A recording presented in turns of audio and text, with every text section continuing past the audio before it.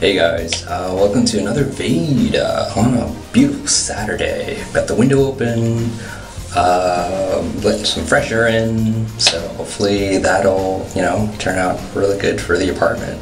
Um, so today's question, Pam. Person you most want to have a drink with who is alive? Um, I want to say Dave Chappelle.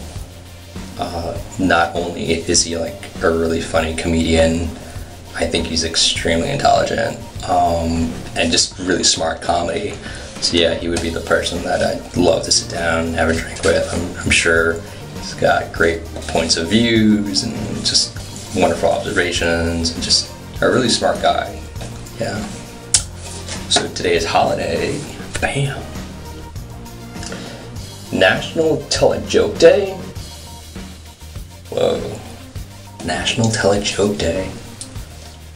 Alright, um, I guess I'll tell you my favorite joke. You ready? A man walks into a bar.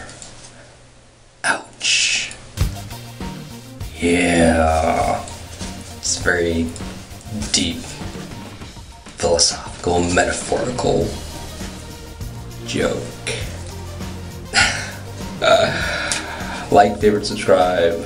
Uh, have a good day and leave a comment below and tell me what your favorite joke is. And I'll talk to you guys tomorrow. One, and then.